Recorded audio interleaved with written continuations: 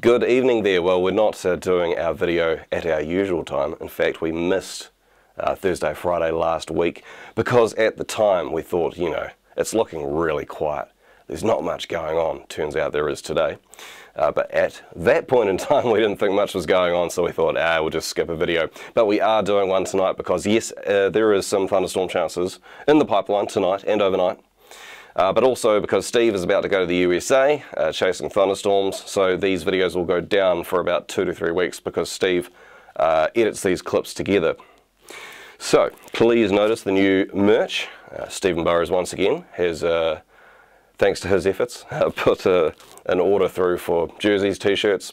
Hopefully they'll be being sent out to you guys right now. if not now, soon enough. Thank you very much, Steve. Okay, uh, the Aurora the other night was quite impressive, was it not? This was my efforts. It's the first time I've ever tried to photograph an Aurora. I must admit though, yes, they're spectacular and ooh la di da, but uh, for me personally, I don't actually find them much of a challenge. You know, I just stuck the camera over the rear fence, long exposure. there you go.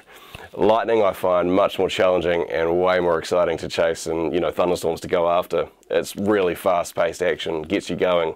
The aurora, to be honest, I'm slightly colorblind too. Uh, when you look at the sky, I only really saw like a bit of a tinge. The actual dramatic colors there, you only really pick them up when you, uh, you know, put your camera to the sky, do a long exposure, boost the uh, ISO, and uh, yeah, that's what you get pretty cool. There's a lot better photos than mine out there. Go to the New Zealand Storm Chasers uh, Facebook group page and you can see them there. Okay, thunderstorm chances. There are thunderstorms occurring right now, depending on when this video comes out, but this evening, yeah, Bay of Plenty, East Cape, thunderstorms occurring right now. It's to do with that front there. This is 3 a.m. overnight, but the front there is now offshore.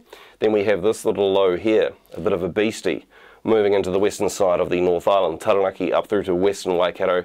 Uh, a chance of heavy rain there, thunderstorms, and maybe even a tornado or two. I see Met Service have put out a risk uh, for the chance of a tornado there. Makes sense, there's very strong wind shear, uh, you know, in the lower part of the atmosphere, close to the ground. So that brings a risk of tornadoes, perhaps. Very dramatic. Then we move about uh, six days away to Tuesday, the 21st of May. Uh, basically, the upper North Island, big broad area of low pressure. There is some uh, cold upper air, bit of moisture at the surface, a few isolated showers could brew up in the afternoon, maybe one or two could be thundery. I can see this blue line here moving in from the south. That does mean some cold upper air here, but uh, there will be no thunderstorm uh, chances.